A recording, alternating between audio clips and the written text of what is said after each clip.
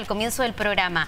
Es algo que ha existido siempre, el tema de los complejos físicos, pero vivimos en una era digital donde estamos todo el tiempo en contacto con las redes sociales. Así es. Y esto, de cierta manera, alimenta los complejos. Claro, exacto. Como pues se propagara más rápido Tal cual. esta insatisfacción, esta mm, eh, necesidad de ser algo que no soy todo el tiempo. Todo el tiempo. Y justamente, bueno, los complejos justamente son esto.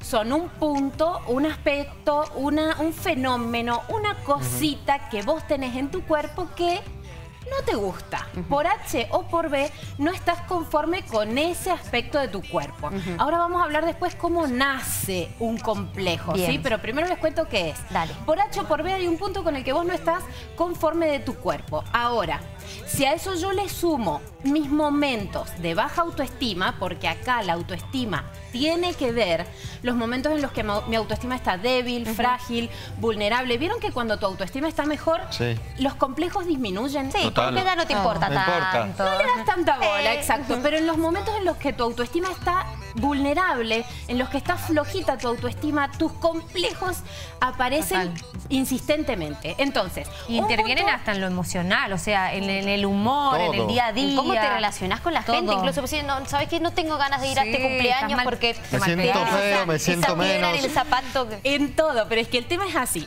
Hay un punto que no me gusta, con el que yo estoy insatisfecha. Tengo la autoestima baja. Y este punto, porque yo tengo la autoestima baja, se transforma en qué? En una obsesión. El complejo es un pensamiento obsesivo. Es decir, no es que es una situación con la que yo, bueno, convivo, más o menos, no me gusta, pasa. Cada tanto me acuerdo de este complejo que tenía. No. Cuando es un complejo, y esto es para también para allá en casa que ustedes evalúen si eso que les pasa es realmente un complejo o no. Cuando es un complejo, es un pensamiento de características obsesivas que vos no te podés sacar de la cabeza. Y es esto que decían ustedes recién.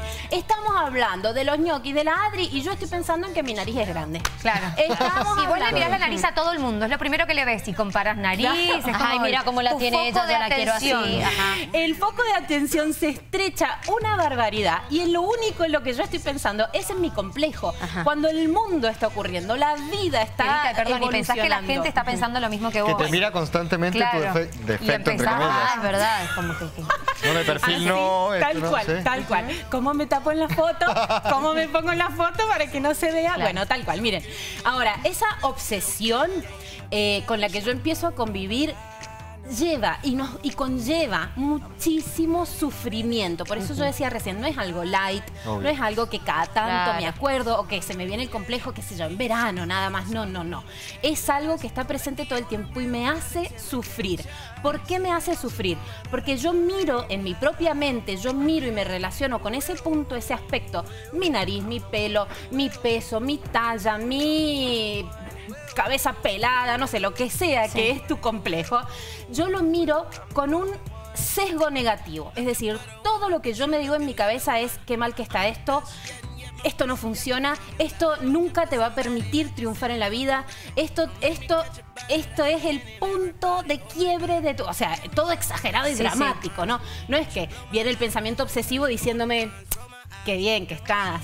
Qué bonita que sos. No, viene para Todo está bien. Viene- contrario. peor, Viene sí, claro. para criticarnos. Y además viene como forma de amenaza. Es decir, yo le pongo afuera a todos los demás la característica de que todos los demás me van a criticar Claro. y me van a juzgar por ese complejo que yo tengo. En realidad nadie está mirando Claro, ese claro, complejo. a nadie le importa, claro. A nadie le importa, pero yo en mi mente, todo esto ocurre en mi mente, lo miro a ese punto de mi cuerpo y lo critico y además pienso que los demás lo van a mirar y lo van a criticar tanto como yo. Entonces los demás no me van a querer, los demás no me van a dar trabajo, los demás no me van a valorar, los demás no me van a aceptar, los demás no me van a escuchar lo que digo porque solo van a estar mirando mi peso, mi nariz, mi pelo, mi talla, mis hombros caídos, porque además los complejos son Sí. tan variados y tan ridículos Claro. ¿Y esto de dónde hay. nace? Porque nos dijiste, ya les voy a contar de dónde surge un complejo. ¿Cómo Bien, es que...? un complejo surge de un tema complejo. no, no, no, no. Un complejo complejo surge? A ver, la base del ser humano, el, el cerebro de base en el ser humano funciona comparando a los chicos. Claro. Esto es, Sí. ya lo hemos hablado, le- la ley del espejo, Todo. este, el, el- el- el síndrome del impostor, lo hemos tocado en tantos temas. Es inevitable, nos miramos y nos comparamos con los demás, porque de esa manera tu cerebro es la única forma en la que dice, ¿dónde estoy parada? ¿Mm? Claro. ¿Cómo estoy realmente? Yo miro a mi alrededor y digo... Ah, bueno, pum, pum, pum, pum, pum, hago una ponderación, una evaluación. Esto vos ni te das cuenta. Lo haces sin que sea consciente ni racional.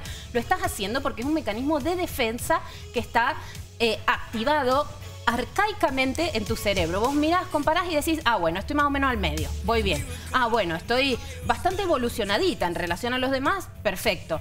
Pero este mecanismo de comparación no deberíamos dejarnos llevar, siglo XXI, ¿sí? No estamos en las cavernas, no deberíamos dejarnos llevar y que esto nos llevara puestos por delante y que fuésemos nosotros víctimas de nuestros propios mecanismos de comparación y de nuestros propios ¿Qué mecanismos hacemos de como padre, Vita? visión ¿Cómo podemos negativa. a- empezar a ayudar desde chiquitos para darle seguridad, para que no estén en esto de decir, mira, no te compares, no sé, ¿qué, qué podemos Bueno, hacer? Porque muy chiquitos empiezan con eso. Has dado justo en un punto re importante, Dani. ¿Por qué? Porque además de que el cerebro está diseñado para compararse y que no deberíamos dejarnos llevar tanto por la comparación, los complejos también se forman por los estilos de crianza. Claro.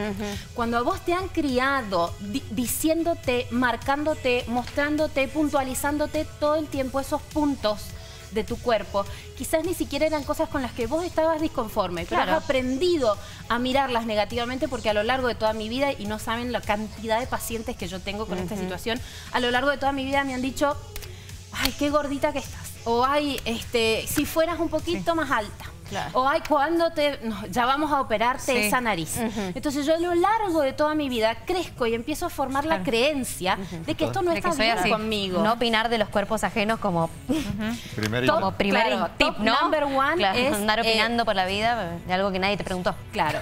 Claro. Por favor, trabajemos esto de no rotular a nuestros niños y a nuestras niñas. Pero ojo acá, porque cuando yo digo no rotular, lo primero que todo el mundo piensa es, bueno, no le voy a hablar de las características ne- negativa- negativas, que yo considero negativas como Me mamá. parece que hay que naturalizar y hablarlo La palabra, naturalmente. ¿Sabes cuál es?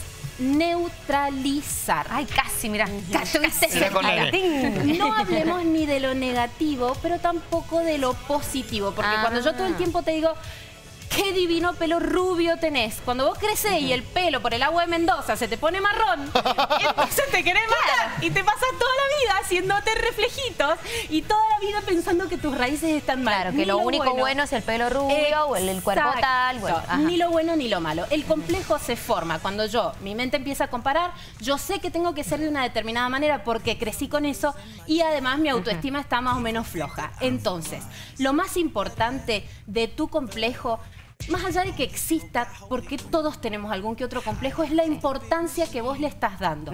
claro. Restémosle en nuestra propia mente importancia a los complejos, porque ningún cuerpo es perfecto, ninguna persona es perfecta, porque la perfección no existe, lo hablamos el otro día con los perfeccionistas, y la vida es mucho más linda cuando vos aprendés a aceptar y a incorporar tus unicidades, tus características que te hacen ser diferente, no igual a Y todos no los sos demás. tan importante como crees tampoco, porque el que está al lado tuyo no está pensando en vos o viendo ese defecto que vos Claro. pensás que está viendo. Totalmente, pero eso es como ustedes lo plantearon al principio, efecto redes sociales. Sí. Está todo el mundo queriendo como eh, sobresalir y ser Sí. mirado y hay toda una cultura de las redes sociales que está Ajá. retroalimentando esto de yo tengo que ser vista, yo tengo que ser vista. Tal cual. Eh, y bueno, y la verdad es que ¿qué es lo más importante? Que seas visto o vista o aceptado o aprobado o amado por por, gente todo que no el te mundo. conoce, Vita. En las redes sociales lo hablamos la semana pasada. eh, una madre que le sacó la, la cuenta a su hija porque recibía comentarios de gente que no la conocen. O sea, opinan de vos personas que ni siquiera Con mucha saben, no claro. saben quién sos. No todo lo que vemos en las redes, que también lo decíamos antes de salir al aire, es cierto. Hay mucho Photoshop, Terrible. mucha edición de fotos que, que nos marcan quizás un ideal que, que no existe realmente y que, que llevan a- al límite, ¿no? Este tema de, de la belleza y de los estereotipos. Así es, y retroalimentamos continuamente esta creencia en nuestra mente de que hay algo que yo tengo que cambiar para parecerme Para a ser el importante, influencer, para estar en la moda, para estar en el último movimiento. Y en realidad perdemos de vista que eh, lo más lindo que nos puede pasar es ser exactamente así como nosotros somos. Es eh, poder mirarnos y mirar lo positivo, no siempre poner el foco Claro, en lo que yo tengo que cambiar para ser mejor, sino poder observarme de- y apreciar quién yo soy. Porque además tu persona no son tus, tus características, ya sean las positivas o los complejos. Tu persona son un montón infinito de, de cuestiones y de asuntos todos juntos. Les voy a decir los tres Sí, tips tenemos para que cerrar, así que cerrar vamos bien. con eso. El Por tip supuesto. número uno es racionalizar tu complejo. No es tan importante, no es tan grave. Cuando estamos Ajá. hablando de la sopa de la Adri, estamos hablando de la sopa de la Adri. No estamos hablando Claro. del color del pelo o del tamaño de la nariz. Volvé a enfriar tu cabeza y conectate con lo que está pasando en el aquí y ahora. Segundo, tomar el complejo desde un punto de vista del humor. Poder reírte de esos aspectos que no son perfectos es lo más maravilloso que nos puede pasar en la vida. Total. Eh, y es lo más, lo, lo más liberador que te puede pasar. Y tercero, empezar a recibir comentarios positivos y recibir piropos y recibir em, apreciaciones de afuera, porque siempre cuando tenemos complejos decimos, no, no, esto no puede Claro, ser. me no, está haciendo un esto-". chiste. Exacto. Ajá. Empezar a recibir todo ese amor que viene de afuera. Me encantó. Claro. Se aplaude.